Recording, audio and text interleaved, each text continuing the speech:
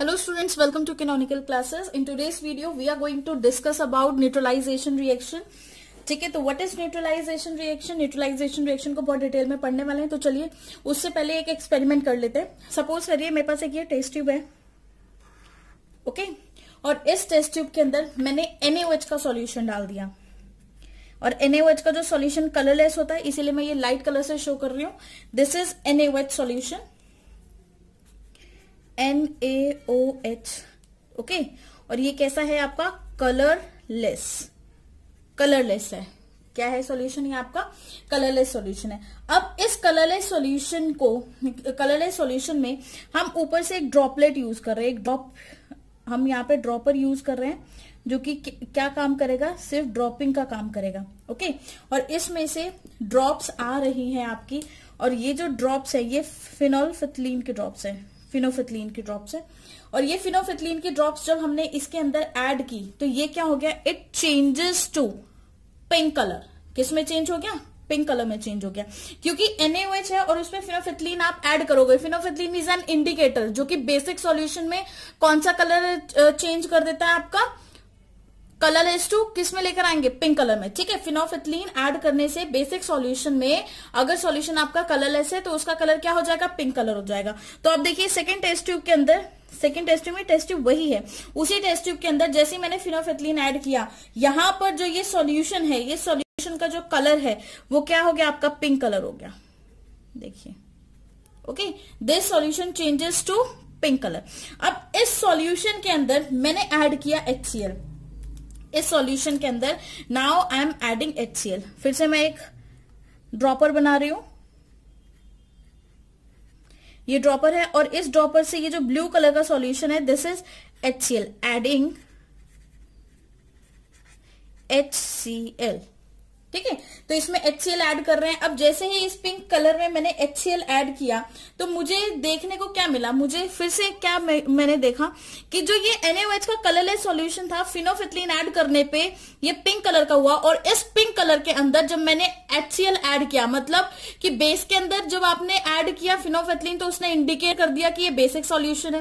है ना? एनएच पहले हमें नहीं पता था बेस है लेकिन जैसे फिनोफिथलिन ऐड किया तो हमें पिंक कलर से पता लगा ये बेस है। अब उस बेस के अंदर now I am adding acid है ना? हम क्या ऐड कर रहे हैं? एसिड ऐड कर रहे हैं। तो हमें क्या ऑब्जर्वेशन देखने को मिलेगी? हमें ये जो ऑब्जर्वेशन देखने को मिलेगी, उसमें क्या होगा?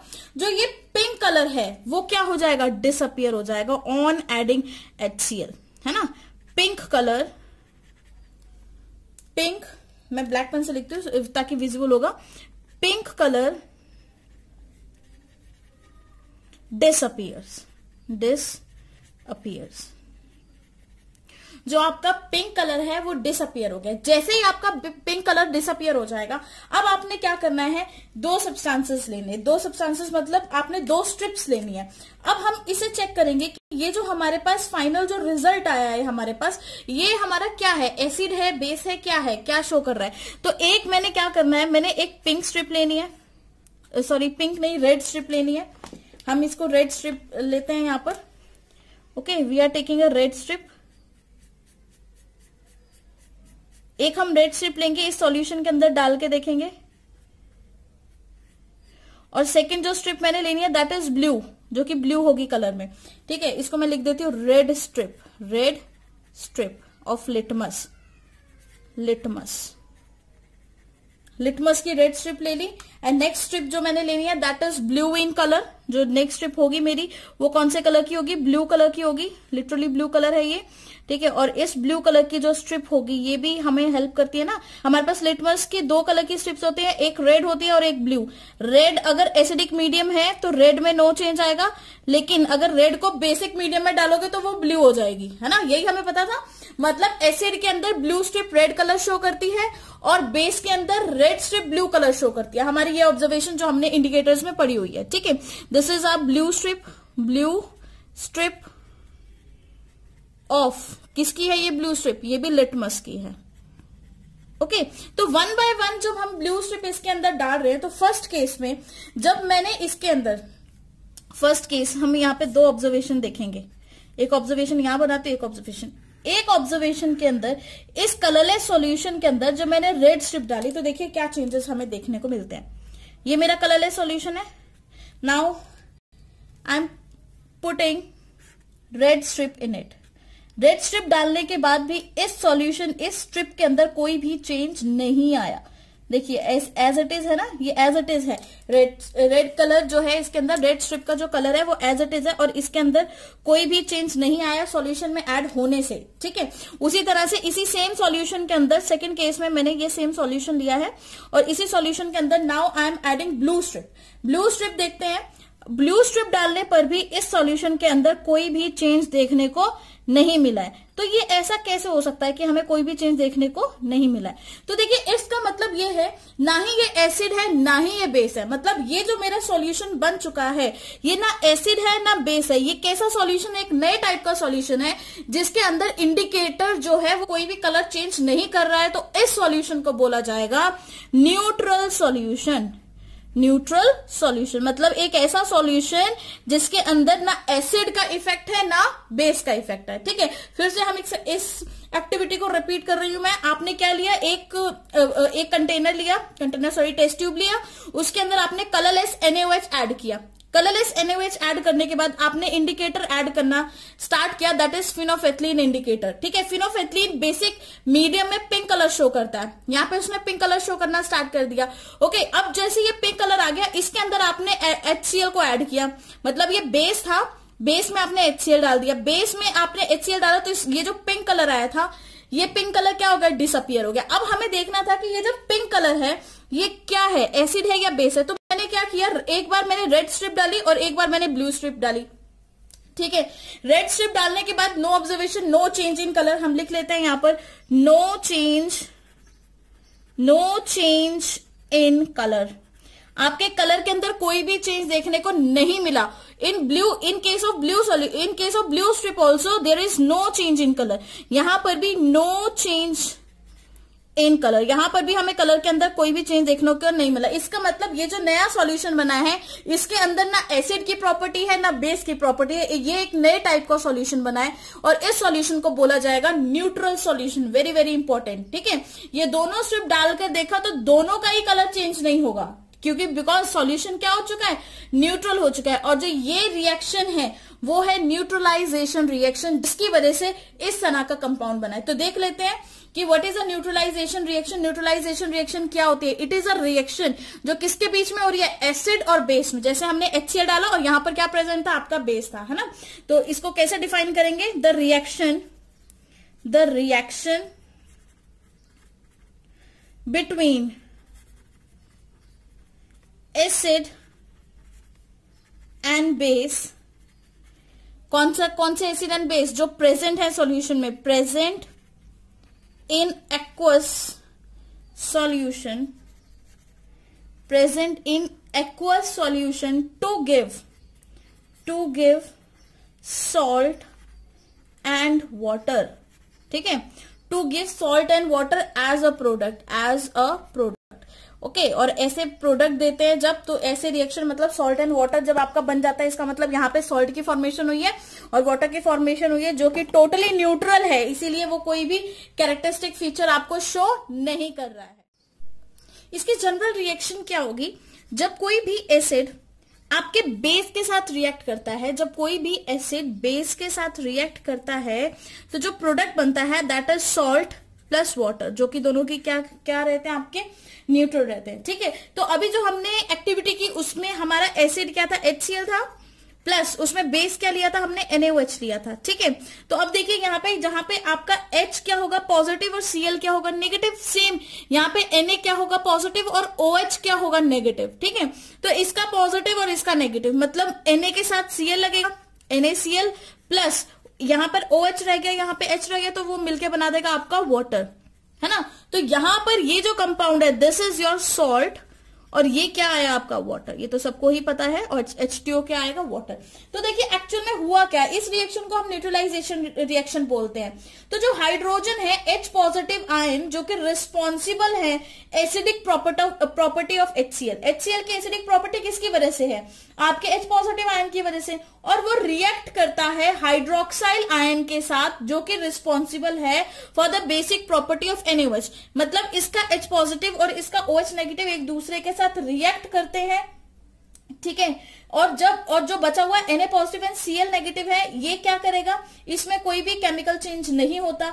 ये सिंपली आपको अपियर होगा in form of crystalline sodium chloride on evaporation very very important ठीक है, ये आपको किस फॉर्म में मिलेगा? क्रिस्टलाइन सोडियम क्लोराइड की फॉर्म में मिलेगा इवेपोरेशन पे। सिंस जैसे कि हमारे पास एच सी या एनएच है, ये दोनों ही एच सी एल एनएच या फिर एनएसीएल की बात करें, ये तीनों ही आपके वाटर सॉल्यूबल होते हैं। मतलब एक्ो सोल्यूशन में सॉल्यूबल होते हैं। ठीक है तो अगर ये वाटर में सोल्यूबल है तो इसको आयनिक फॉर्म में हम कैसे लिख सकते हैं? देखिए एच को कैसे लिखेंगे? H positive plus Cl negative ऐसे ब्रेक करता है, ठीक है? उसी तरह से एनएच को भी ब्रेक करके लिखिए N positive plus O H negative है ना? इसने प्रोडक्ट क्या बनाया? एनएसीएल प्रोडक्ट बनाया प्लस एच टू तो यहाँ पर देखिए N positive N A positive plus Cl negative यहाँ पे हम जितने भी आपके आयनिक सॉल्यूशन है, या फिर आप बोलो स्ट्रॉन्ग इलेक्ट्रोलाइट्स सिंपल अच्छा जो वर्ड हम यहाँ पे बोलेंगे दैट इज़ स्ट्रॉन्ग इलेक्ट्रोलाइट हम सिर्फ़ उसकी डिसोसिएशन या आयनाइजेशन दिखा रहे हैं, ठीक है? Plus water H two O जो कि आपको लिक्विड है.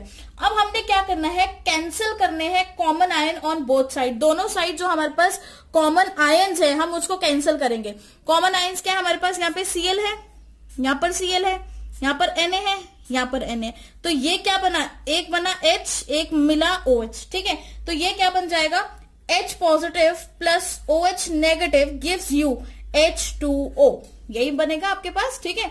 जो कॉमन आयंस है, वो हमने कैंसिल कर दिया। बचे हुए आयंस क्या थे? H positive plus O H negative gives you H two ठीक है?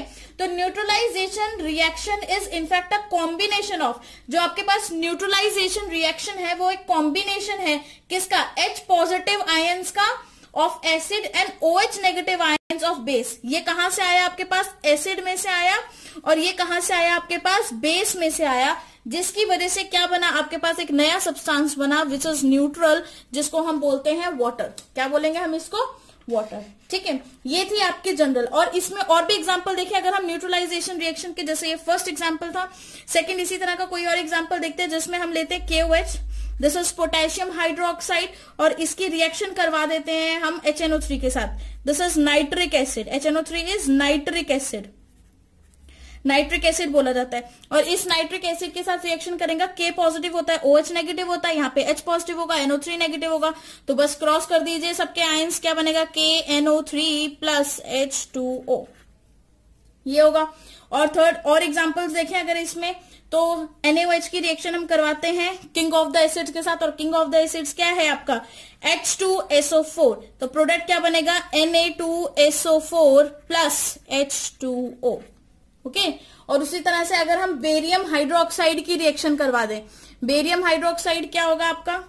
बी ए ओ एच का whole twice barium second group का मेंबर है तो उसकी वैलेंसी टू होगी और ओ एच की वैलेंसी वन तो बस क्रॉस मल्टीप्लाई करके आपके पास बी एच होल ट्वाइस आ जाएगा। इसमें आप एच सी एल को ऐड करिए। एच सी एल जब ऐड करेंगे तो क्या बनेगा? B A C L two barium chloride plus water product के फॉर्म में क्या आ जाएगा आपके पास? वाटर आ जाएगा, ठीक है? तो ये कुछ एग्जाम्पल्स थे आपके न्यूट्रलाइजेशन रिएक्शन के। अब इसके एप्लीकेशन के बारे में पढ़ लेते हैं। आपके न्यूट्रलाइजेशन रिएक्शन की फ़र्स्ट एप्लीकेशन क्या है, जो कि आपके डेली आप नॉर्मली देखते होंगे अपनी लाइफ के अंदर। जब किसी को एसिडिटी हो जाती है, जब किसी को एसिडिटी हो जाती है तो वो क्या करता है कि मार्केट से जाके या शॉप से लेकर आएगा एक इनो का पैकेट ठीक है?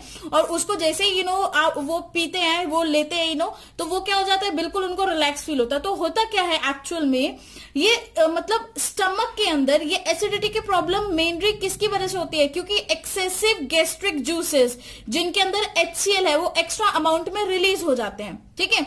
तो उस एसिडिटी को, उस एसिडिटी को न्यूट्रलाइज करने के लिए एक हम केमिकल सब्सटेंस यूज़ करते हैं, जिसको बोला जाता है एंटा एसिड ठीक है? तो मैं यहाँ पे ऐसे लिख रही हूँ the acidity the acidity is neutralise by the acidity is neutralise by antacid antacids ठीक है very important what is antacid antacid tablets लेते हैं, जिसके अंदर क्या होगा? सोडियम हाइड्रोजन कार्बोनेट है ना? Antacid tablets containing powder भी ले सकते हो। ज़रूरी नहीं है कि आपको टैबलेट ही लेनी होती है। एंटी एसिड पाउडर भी आ जाता है, ठीक है? और इस एंटी एसिड बना किस चीज़ का होता है? क्या कंटेन करता है? सोडियम हाइड्रोजन कार्बोनेट या जिसको हिंदी में बेकिंग सोडा बोला जाता है, या फिर मीठा सोडा बोला जाता है, ठीक है? तो सोडियम हाइड्रोजन कार्बोनेट जिसका फॉर्मूला क्या होता है? N sodium hydrogen carbonate okay sodium hydrogen carbonate पड़ा होता है या फिर and magnesium hydrogen magnesium hydroxide MgOH का होल ट्वाइस और ये जो आपका magnesium hydroxide as a antacid काम करते हैं, इसको बोला जाता है milk of magnesia very important क्या बोला जाता है इसको? मिल्क ऑफ़ मैग्नीशिया तो ये क्वेश्चन आता है आपका बोर्ड एग्ज़ाम्स में भी पूछा जाता है कि what is milk of magnesia और milk of magnesia as antacid क्यों वर्क करता है? क्यों? क्योंकि ये क्या है? आपका एक एल्कलाइन सब्सटेंस है, एक बेस है, जो कि आपकी बॉडी के अंदर जो एसिडिक कैरेक्टर बढ़ गया है, आपके स्टमक के अंदर एसिडिटी जो इंक्रीज होगी है गेस्ट्रिक जूसेस की वजह से, उसको क्या करेगा ये? न्यूट्रलाइज करेगा और फिर वो पर्सन रिलैक्स फील करेगा। ठीक है? अगर हम सेकेंड प्रॉपर्टी की तरफ़ मूव करें, ये भी आप डेली लाइफ में देखते होंगे, जब कोई भी बी या फिर कोई भी आंट स्टिंग कर जाती है हम लोगों को, या किसी भी पर्सन को स्टिंग कर जाती है तो वो क्या रिलीज़ करती है? Formic acid very important the sting of bee the sting of bees and ant जो स्टिंग है बी का या आंट का, वो क्या कंटेन करता है? Contains formic acid formic acid and what is the formula of formic acid formic acid का फॉर्मूला क्या होता है? H C O O H जो कि बहुत इंपॉर्टेंट फॉर्मूला है. ठीक है? फॉर्मिक एसिड क्या क्या फॉर्मूला होता है? एच सी ओ एच और ये जो फॉर्मिक एसिड है, ये कोरोसिव भी होता है एंड पॉइजनस भी होता है। तो ये लाइन भी नोट करते हैं। It is corrosive it's corrosive corrosive and poisonous poisonous effect can can be. इसका जो पॉइजनस इफ़ेक्ट है कैन बी न्यूट्रलाइज बाय कैसे न्यूट्रलाइज करेंगे? Can be neutralize by rubbing हम रब करते हैं ना कुछ भी, कोई भी बेसिक चीज़, जैसे बोलते हैं कि अनियन को रब करो, है ना? अनियन का जूस रब करो। या कोई बोलता है कि अगर आपने मेटल का कुछ भी बैंगल वगैरह शॉर्ट ऑफ़ डाला है तो उसको रब करो, है ना?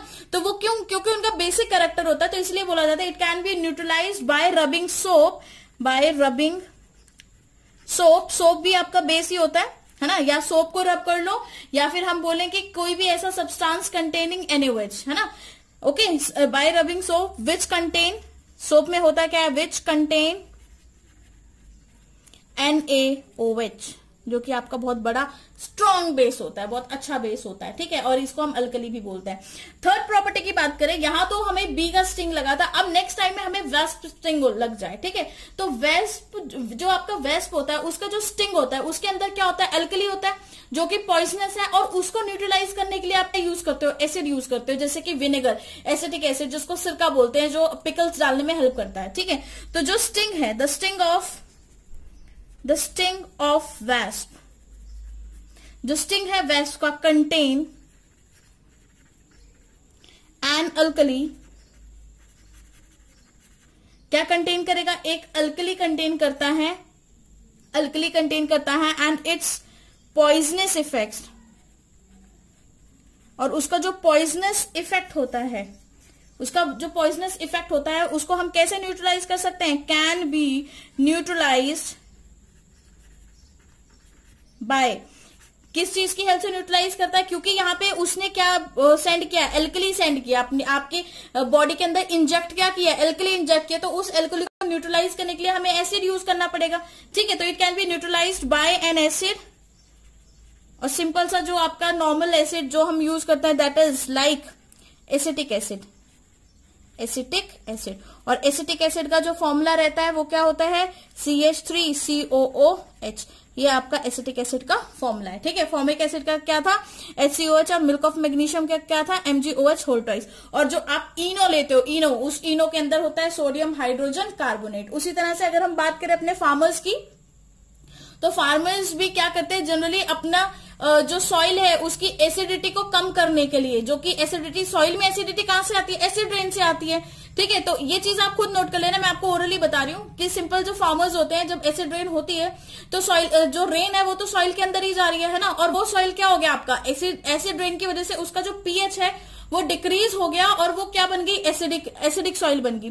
तो उस एसिडिक सॉइल को हमें अगर न्यूट्रलाइज करना है तो हम क्या ऐड करते हैं उसमें? स्लेक लाइम ऐड करते हैं। Slake lime is calcium hydroxide to the soil so that it become neutralize and और हमारे पास प्लांटिंग के लिए या क्रॉप की प्रोडक्शन के लिए अवेलेबल हो जाए। ठीक है? तो ये थी कुछ एप्लीकेशन आपकी न्यूट्रलाइजेशन रिएक्शंस की। अगर आपको कोई भी डाउट है तो आप कमेंट सेक्शन में पूछ सकते हैं। And thank you for listening